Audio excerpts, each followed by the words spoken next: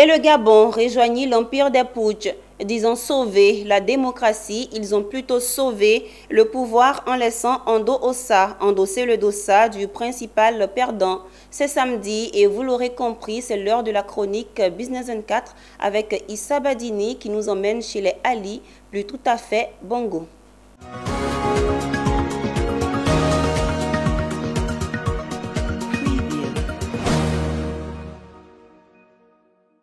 L'opposition gabonaise est enfin sortie du bois euh, quatre jours après le coup de sang des militaires contre l'empire des Bongos.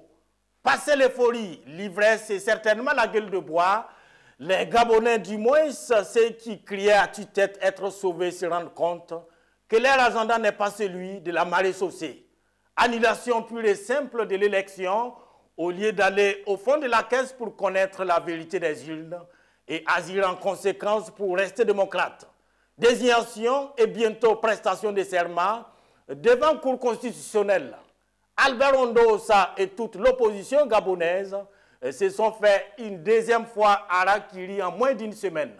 D'abord par un candidat déclaré, Ali Bongo, à qui il est reproché d'avoir usurpé la victoire, et maintenant par un candidat non déclaré. L'armée, sinon la garde rapprochée, qui a certainement décidé de garder autre chose désormais que le fils de l'autre. Principal enseignement, le vainqueur d'une élection n'est pas forcément l'élu. Aussi, un mur de 56 ans peut s'écrouler sans qu'intervienne la moindre tempête. Oh, que c'est fragile et éphémère. Une révolution des palais, entend-on dire. Sauf que c'est les bongos. Ce scénario n'existe pas dans la checklist de la succession. Mieux, c'est un palais désormais sans bongo. Ce n'est jamais arrivé depuis 56 ans. Une révolution est une révolution. Elle peut plaire ou non. À l'opposition gabonaise, votre douleur est notre douleur, pour paraphraser un ex-poutiste burkinabé. Mais qu'elle comprenne que le général Brice Clotaire et ses hommes voulaient la chose là. Ils l'ont enfin eu. Et c'est collé serré. Pour rien au monde, ils ne se sépareront à moins d'être contraints par une CEMAC qui se cherche ou une Union africaine qui ne se retrouve pas. Ça n'arrive pas qu'aux autres, dit-on. La lutte contre les coups d'État, c'est seulement ensemble que c'est possible.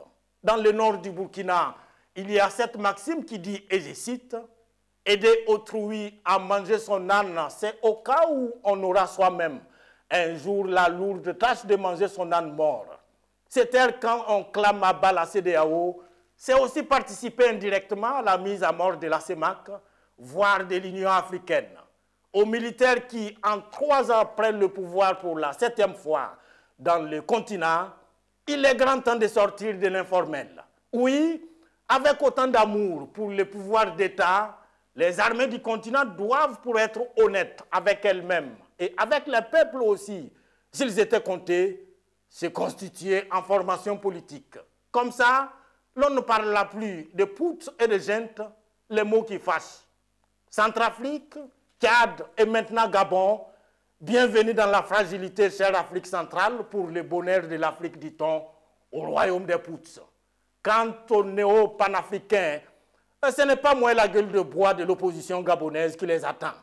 Le général Moussa Traoré du Mali, l'empereur Bokassa en Centrafrique, Idi Amin Dada d'Ouganda, le général Isaias Afeawalki de l'Érythrée, les généraux du Malher du Soudan, le général Lansana Conté ou le capitaine Moussa Dadis Kamara de la Guinée, euh, Senu Kounché et Baré Maïna Sara du Niger, le général Robert Gay de la Côte d'Ivoire, Blaise Compaoré du Burkina, le général Eyadema du Togo et encore et encore. Les promesses de liberté, de démocratie, de justice et que c'est encore des poutistes n'ont de valeur qu'aux yeux de ceux qui les croient.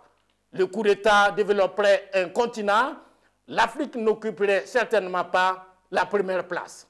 À bon entendeur, salut.